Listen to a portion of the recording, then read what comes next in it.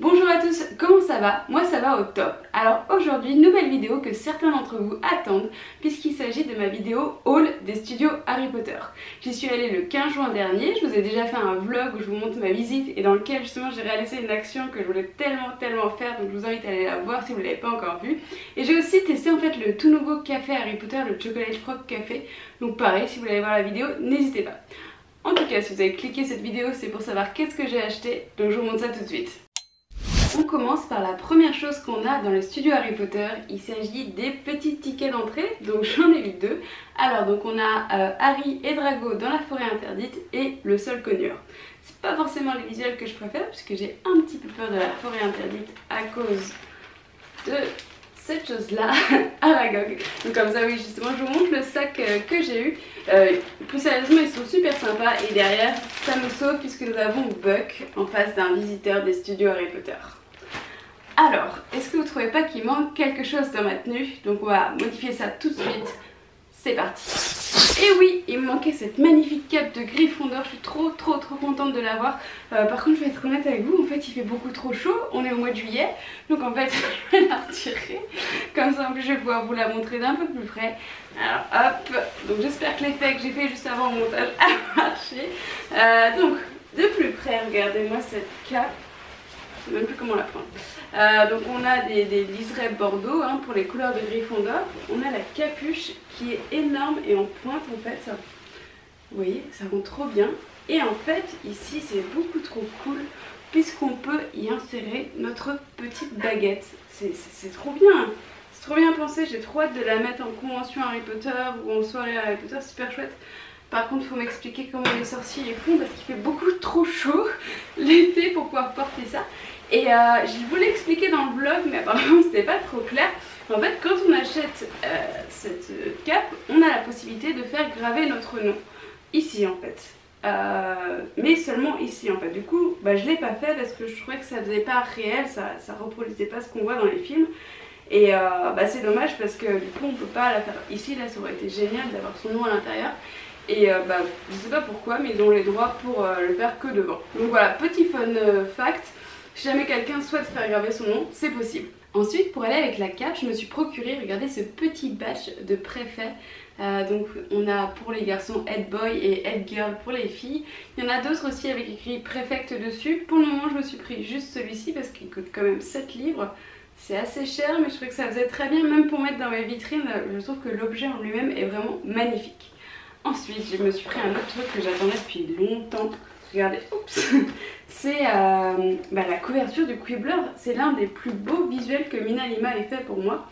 Et euh, en plus on a les larmes au spectre, donc pour le moment elles sont attachées, je pense que je vais finir par les détacher ou même elles vont se détacher dans la vidéo. Et euh, oui, c'est super chouette et pareil j'avais vraiment envie de faire un, endroit dans, dans, ma collection où on voit tous les visuels les plus emblématiques qui ont été réalisés pour, pour les Harry Potter comme la carte du maraudeur ou justement cette magnifique couverture du Quibbler. Alors ensuite je me suis pris un petit stylo alors hop, comme ceci. Donc il en existe pour les quatre maisons. J'ai pris celui de Gryffondor, bah c'est ma maison, je me suis dit allez, je prends celui-ci. En fait j'ai pour vocation de faire une collection de stylos, j'en ai déjà plusieurs, vous savez de la plateforme 9 3 quarts, de la pièce de théâtre. Je suis bientôt à Orlando, donc je vais du coup m'en prendre un de là-bas. Et voilà, c'est en plus c'est un souvenir qui est vraiment bah, pas cher du tout. Donc pour euh, un livre, on a un petit souvenir si jamais vous n'avez pas de budget mais que vous voulez quand même amener quelque chose des studios Harry Potter. Ensuite, vous le savez, euh, c'est même un peu pour ça que j'y suis allée, euh, il y a eu l'extension Green Gods, donc de nouveaux produits dérivés. Et ils ont fait ce petit sachet adorable avec le petit tag là, juste ici avec Green Gods. Euh, donc c'est un petit sachet de pièces en chocolat, donc c'est super chouette. Et en plus il y en a quand même plusieurs dedans, donc on peut en plus en garder, si on veut les manger, on peut en garder 2-3 pour la collection. Et euh, ouais, le sachet est vraiment très très sympa. Moi j'adore. Je trouve que c'est euh, une super bonne idée d'avoir fait ça comme objet dérivé.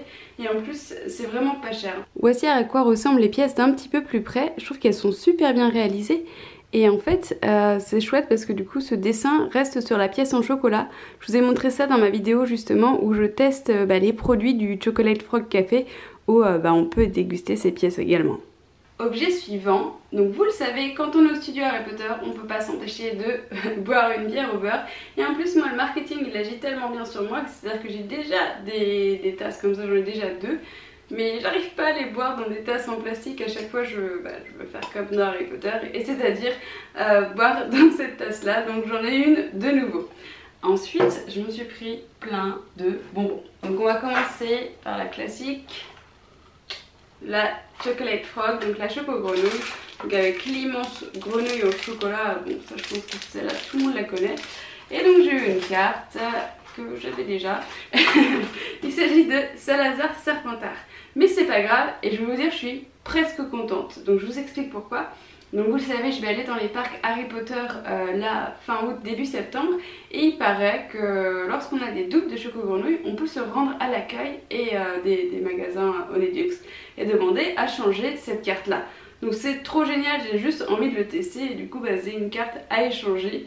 Et euh, puis bah, si jamais bah, c'est pas le cas, c'est pas grave, je trouverai une solution puisqu'il m'en manque encore quelques-unes puisqu'ils n'arrêtent pas d'en sortir. Autre friandise, je me suis prise en fait cette tablette de chocolat Onedux que je trouve magnifique euh, bah, exposée dans une collection. Euh, bah, je m'en étais encore jamais procuré et vous allez voir j'en ai pris d'autres. J'ai pris les Ounopou. Vous savez ce que c'est? C'est les bonbons en fait des jumeaux Weasley euh, qui servent en fait euh, à la constipation. c'est un peu bizarre. Euh, donc voilà, j'étais très curieuse bah, de, ces bonbons. Et également, je trouve que le visuel est très sympa. Je pense que de toute manière, j'en goûterai juste un ou deux et que je les laisserai dans la boîte comme ça. Prochain objet qu'on voit depuis des années et des années, il s'agit de ces exploding bonbons euh, ont l'air d'avoir un drôle de goût puisqu'ils sont justement à l'orange et l'ananas. Euh, donc ça me paraît très particulier. Encore une fois, bah, je voulais la boîte euh, également, donc ça complète ma collection. Et enfin, on va passer au dernier objet qui est une nouvelle fois, hop, des Fizzing with Euh, donc là, ce sont des petites abeilles, corrigez-moi si je me trompe. Oui, c'est ça, des abeilles en chocolat. Vous vous doutez, hein, si j'ai pris tout ça, c'est pour, euh, bah, dans un premier temps, les tester en vidéo, donc dans une autre vidéo, pour pouvoir bah, goûter, savoir de est-ce que c'est bon ou pas. Les seuls objets que j'ai déjà goûté, ce sont ces deux-là, donc la hum, pièce de Gringotts et hum, la choco grenouille. Et également, bah, c'était des choses que j'avais pas dans ma collection et je trouve que en plus d'un objet qu'on peut goûter, et eh ben c'est un très joli objet de collection. Voilà, cette vidéo arrive à sa fin. Évidemment, si elle vous a plu, je vous invite à mettre un petit pouce bleu. On se retrouve très bientôt pour beaucoup de vidéos et euh, bah, surtout les vidéos des parcs Harry Potter. A très bientôt